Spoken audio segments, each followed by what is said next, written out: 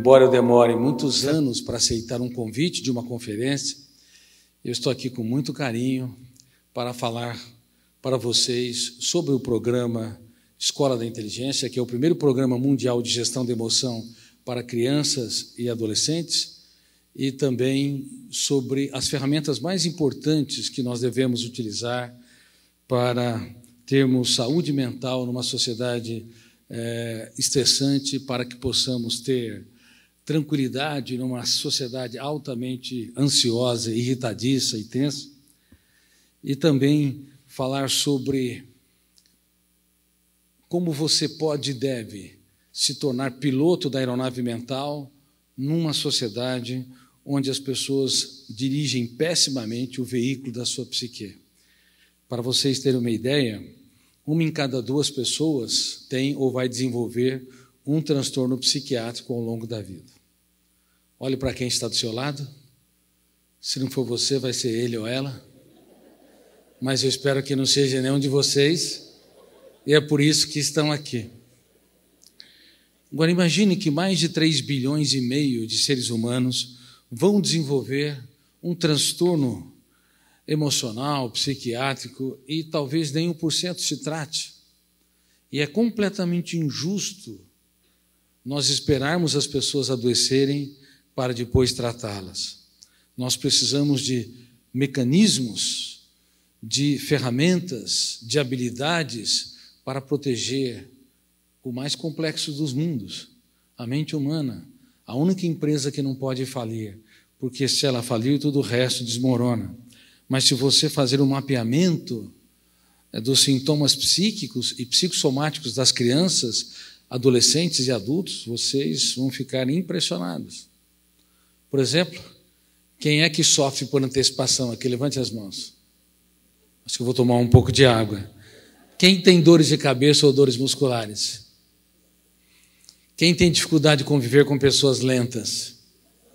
Vocês não têm vergonha? Não é que as pessoas são lentas, é que vocês são acelerados demais. Quem se irrita com facilidade? Muito bem, amigos. Acho que eu vou abrir um hospital aqui. Eu vou falar com a Verizon e com o meu amigo Marcos Botelho para vocês se cuidarem. Mas essa é a situação do ser humano atual. Dores de cabeça, dores musculares, nó na garganta, aperto no peito, são sintomas psicossomáticos que representam o grito de alerta do nosso corpo, suplicando para que possamos mudar o nosso estilo de vida mas infelizmente nós somos lentos, muito lentos, para ter um caso de amor com a nossa saúde emocional. Quando você vê uma torneira pingando, aquela, aquele barulho te incomoda tanto. Quando você tem um ar-condicionado que está com um ruído diferente, aquilo também te perturba. Quando você vê um trinco na parede, às vezes você não suporta e não vê a hora de repará-lo mas é quase que inacreditável que não apenas trincos, grandes rachaduras nas paredes emocionais e nós não fazemos nada. Ah, está vazando a nossa tranquilidade, nosso prazer, nosso encanto pela vida e também não fazemos nada. Nós estamos envelhecendo precocemente no território da emoção e também não fazemos nada. Toda pessoa que quer tudo rápido e pronto envelheceu no território da emoção. Toda pessoa que não consegue contemplar o belo, fazer das pequenas coisas um espetáculo aos olhos, precisa de muitos eventos para sentir migalhas de prazer, como as crianças e adolescentes no mundo todo, bem como os adultos, às vezes mendigando o pão da alegria, morando em belas casas de condomínio, em belos apartamentos, envelheceu no único lugar que deveríamos ser eternamente jovens. Por isso, nós temos que ensinar aos nossos filhos como eles podem e devem dirigir a sua mente, como eles podem e devem usar ferramentas de gestão da emoção para que possam escrever os capítulos mais importantes da sua história nos momentos mais dramáticos da sua existência. Mas vocês têm de saber que o sistema educacional mundial está doente, formando pessoas doentes para uma sociedade doente. Para vocês terem uma ideia, a nossa memória, eu vou falar isso agora como um pensador, como construtor de conhecimento, eu tive o privilégio de escrever mais de 3 mil páginas sobre uma das últimas fronteiras da ciência, se não a última fronteira da ciência, que é o processo de construção de pensamentos, tipos de pensamento, natureza dos pensamentos, bem como os papéis do eu como líder da mente humana e os papéis conscientes e inconscientes da memória. Foram mais de 3 mil páginas antes de publicar meu primeiro livro. E eu tenho mais de 60 livros publicados em mais de 70 países. Bom, na minha, na minha trajetória de construção de conhecimento, eu fiquei perplexo ao saber, ao desenvolver, ao construir conhecimento que ainda hoje a educação mundial está cega, está no tempo da pedra em termos de ferramentas para formar pensadores. E é por isso que a escola do seu filho hoje adotou o programa Escola da Inteligência para romper este mecanismo, esse cárcere. Bom, a memória humana ela é preparada para lembrar, correto? Os professores expõem o conhecimento, os livros é, expõem os dados, e nós somos preparados para lembrar as informações e reproduzir nas provas escolares. Mas a memória humana nunca foi especialista em lembrar assertivamente, detalhadamente as informações. Nesse sentido, Harvard está errada, Cambridge, Oxford, MIT, Stanford, Universidade de Pequim, de Paris, elas exigem que os alunos reproduzam os dados aprendidos, mas a mente humana ela é rebelde à reprodutividade exata. Ela é especialista na construtividade ela acrescenta cores e sabores às informações passadas. E eu vou provar para vocês, como eu falo para os meus alunos no, do programa de mestrado e doutorado da USP, alunos mestrando e doutorando, que eu ensino sobre esses complexos mecanismos. Quantos pensamentos vocês produziram a semana passada? Me dê um dado. Como é que você chama? Aline. Semana passada, Aline, quantos pensamentos a mente da Aline produziu? Me dá um número, mesmo que aleatório. Foram milhares ou dezenas de milhares? Milhares. Você está sendo generosa. A nossa mente não para. Certamente são dezenas e centenas de milhares de pensamentos. Agora eu te pergunto, Aline, você prestou atenção nos seus pensamentos, não prestou? Prestou, porque você os produziu. Quando você está produzindo, você perde toda a atenção de fora e foca nos pensamentos que você produziu. Então, nada te distraiu naquele momento em que você construiu pensamentos, porque há uma concorrência. Ou o seu pensamento está no foco, ou está o o pensamento do outro, do pai, da mãe, do professor, é, das informações da TV, da internet. Há uma concorrência. A mente humana não assimila jamais dois pensamentos por vez, como os computadores. Ela precisa de foco. Por isso que muitas vezes as pessoas falam conosco e uma pessoa que é hiperpensante falou, ouviu por 10 minutos, mas na verdade não escutou nada. Estava distraído com seus pensamentos. Conhece pessoas assim? Muitos de nós, às vezes, somos assim. Bom, você produziu centenas de milhares de pensamentos. Você se lembra, você vai fazer uma prova agora. A prova dos seus pensamentos. Você vai lembrar com exatidão as cadeias que produziu, com o pronome, o verbo que conjugou o tempo espacialmente, substantivo, adjetivo, você consegue se lembrar exatamente dos pensamentos? Consegue se lembrar de um sequer? provavelmente você vai ter dúvidas. Mas se eu te pedir, e pedir para vocês, que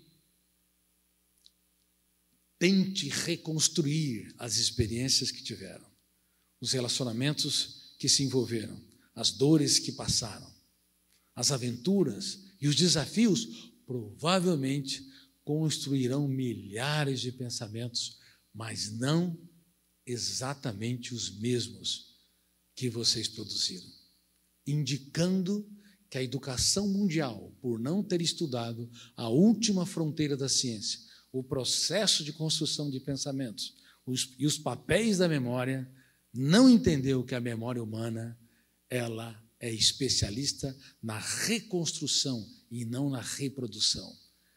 E por isso milhares de gênios morrem ao longo do processo educacional, tratados como relapsos irresponsáveis, porque não se enquadram a o padrão curricular pedagógico patrocinado pelos países, pelas escolas.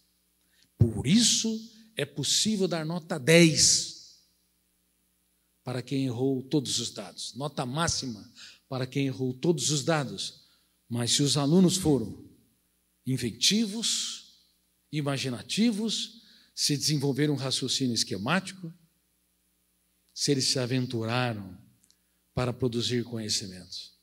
Mas, de um modo geral, os sistemas educacionais, os ministérios da educação, por não ter incorporado essas teses, até hoje exige o que os alunos não podem dar. E é por isso também que não são os melhores alunos, os que mais tiram as melhores notas, que acabam tendo os maiores sucessos na vida. Eles podem ter uma vantagem por incorporar mais o conhecimento, serem mais responsáveis, mas há outras variáveis. Número um, aprender a não querer corresponder sempre às expectativas dos outros. Os íntimos são aqueles que mais podem nos ferir. Todo aluno que cresce, se desenvolve no ensino básico, na universidade, na pós-graduação, lato senso, no estricto senso, mestrado e doutorado, mas ele tem o desejo de corresponder às expectativas dos outros, ele perde a liberdade. Porque frustrações, crises, dificuldades, rejeições vão fazer parte da história de vida dele e ele vai ter que aprender a lidar com isso. Número dois, toda pessoa que cobra demais de si é seu maior algoz, o maior carrasco.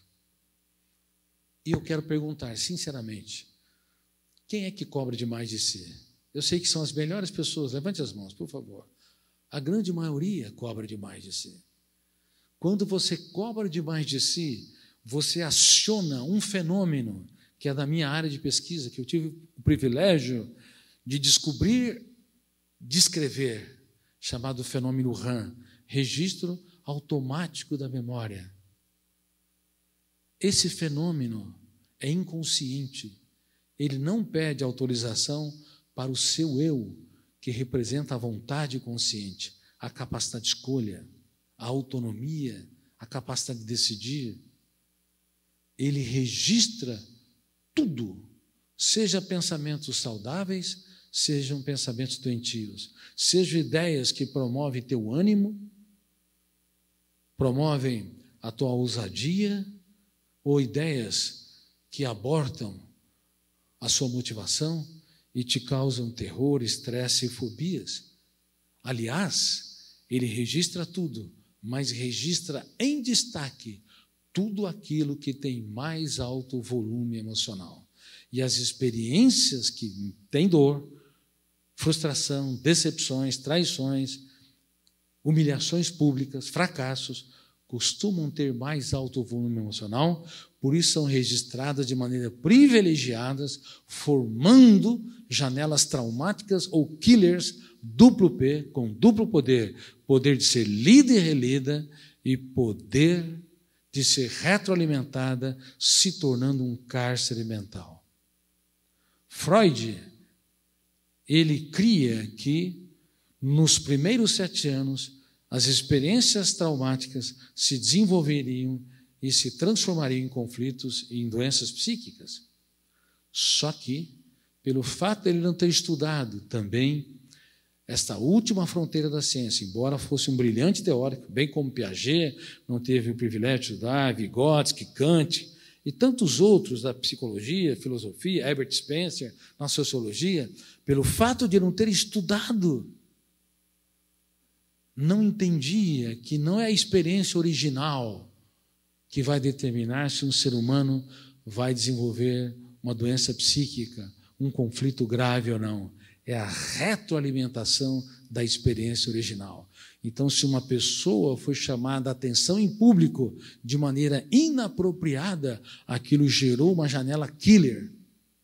Aquela humilhação gerou uma dor intensa.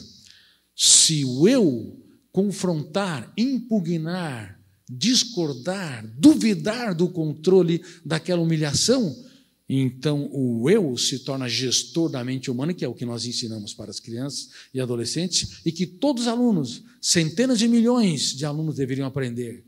Mas se o eu não aprende aquela humilhação, ou até uma nota péssima, ruim numa prova, de um aluno que estudou e sabia toda a matéria, mas fracassou, porque no exato momento em que estava diante das provas, detonou o gatilho, que é um fenômeno inconsciente, ou fenômeno da autochecagem. Abriu uma janela killer, o volume de tensão foi tão grande que ancorou-se, fixou-se naquela janela, em milhares de outras janelas, inclusive aquelas que tinham as informações que ele estudou e aprendeu, não são acessadas. E ele fracassa nas provas. E se ele aprender a duvidar do fracasso, que vai fracassar novamente, a criticar ideias perturbadoras e a determinar ser autor da sua própria história, aquela janela não vai ser retroalimentada. E se ela não for retroalimentada, não vai se tornar um cárcere, cárcere mental.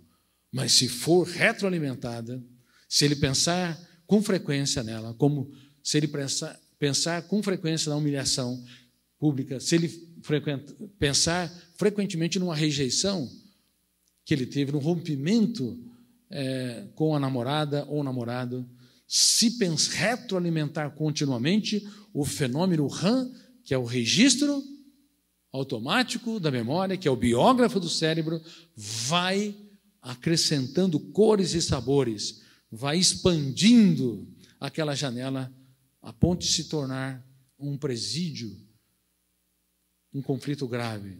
Então vocês estão começando a entender, não é a experiência original que vai determinar se uma pessoa vai desenvolver uma doença psíquica, uma fobia, glossofobia. 75% das pessoas têm glossofobia, medo de falar em público. Não tem medo de falar nas mídias sociais, mas quando estão diante do outro da outra, estão no fronte das relações interpessoais concretas, detona um gatilho, fenômeno inconsciente, abre uma janela killer e a âncora se instala, fechando o circuito da memória, gerando uma síndrome que eu descobri chamada síndrome predador-presa.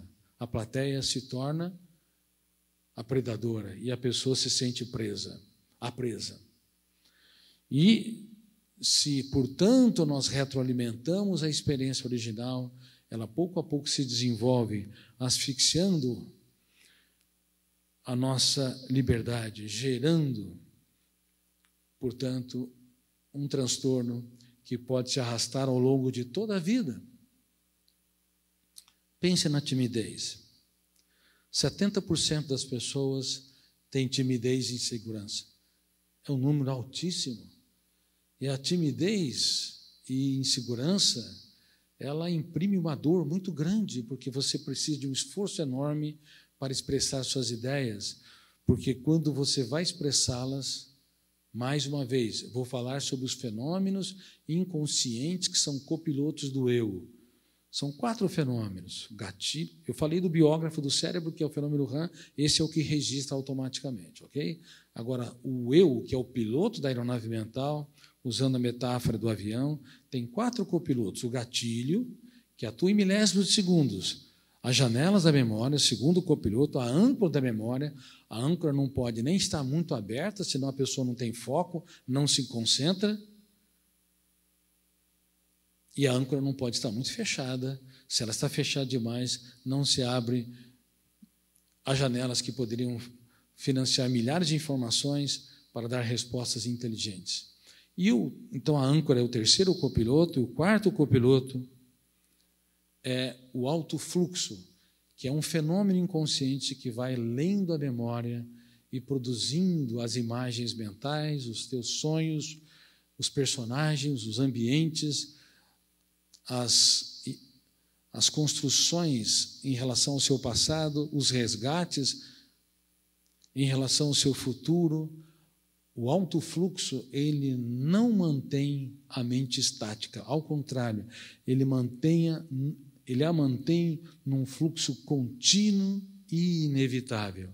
Se o teu eu não pensar, o alto fluxo vai ler a memória, produzindo milhares de pensamentos, ideias, imagens mentais, fantasias para entreter, distrair, envolver o Homo sapiens. Só os pensamentos produzidos pelo eu, por exemplo, como, como, como eu estou fazendo aqui no palco, numa direção lógica e consciente, ou quando vocês estão dando aula, ou quando vocês estão conversando com alguém, só os pensamentos, imagens, ideias produzidas pelo eu numa direção lógica não seria suficiente para gerar um envolvimento emocional, motivação, capacidade de excitar, de ter prazer, de se encantar com a vida. Haveria depressão coletiva Felizmente, nós temos um diretor de cinema, o fenômeno do alto fluxo, que mantém a construção de imagens, de cenas e ambientes continuamente. Portanto, se você acha que é um ser humano complicado, você é mesmo. Se eu acho, eu sou mesmo, porque grande parte do que é produzido na mente humana não é produzido dentro de uma direção lógica. O objetivo é te envolver. Só que o alto fluxo, devido à quantidade de janelas traumáticas, killers, ele produz uma, um estresse intenso, levando o ser humano a sofrer por antecipação. Você pode, deveria pensar no futuro apenas para desenvolver estratégias para resolver os problemas. Mas sofrer pelo futuro é uma inutilidade sofrer pelo futuro leva você a esgotar o seu cérebro. E mais de 90% das nossas preocupações, angústias e temores em relação ao futuro não acontecerão, mas nós sofremos. E 10% que acontece, acontece de maneira diferente, muitas vezes diferente do que nós imaginamos. E se acontece de maneira igual, você deveria ter apenas construído estratégias para superar, mas não para sofrer.